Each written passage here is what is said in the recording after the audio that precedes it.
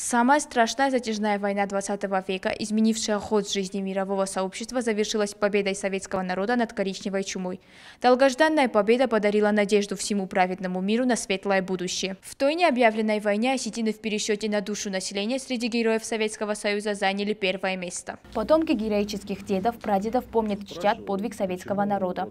На площадке Угостинского государственного университета прошла международная историческая акция «Диктант Победы» в память о славном подвиге советского народа.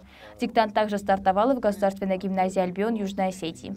Десятки студентов и сотрудников ЮГУ, представители общественности республики подтвердили свое знание всего, что касается темы Великой Отечественной войны.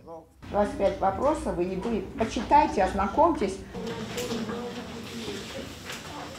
Отметим, что Всероссийский исторический диктант, посвященный событиям Великой Отечественной войны, проводится с 2019 года.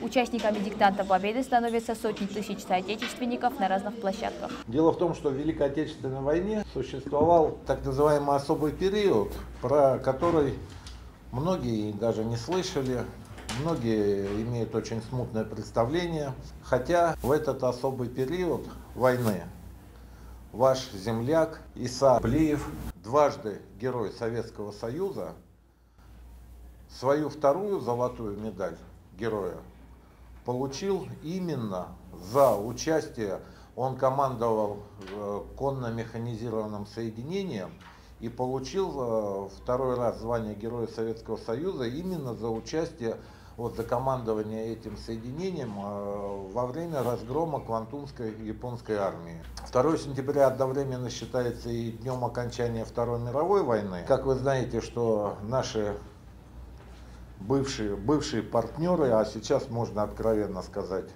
враги, вот. Я не распространяю на весь народ, э, конечно, но э, в руководстве, к сожалению, проводят нам вражескую политику Соединенные Штаты значит, не смогли без нас победить Японию.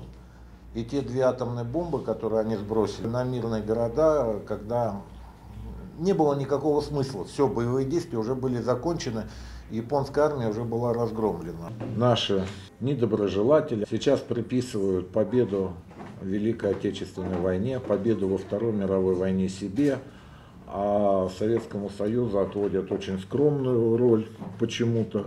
Вот. Хотя на самом деле именно, именно решающие действия советской армии в Манчжурии, в Монголии привели к разгрому вот этой квантумской армии японской. Среди участников нынешней акции многие не первый год принимают участие в написании диктанта. Это интересно и важно, считают они, ведь если не мы, то кто должен знать все, что касается нашей истории. Диктант мы пишем с нашим курсом каждый год. Это бывает очень познавательно. Первый раз пишу этот диктант, самому очень интересно, как я его напишу. Надеюсь, все будет правильно.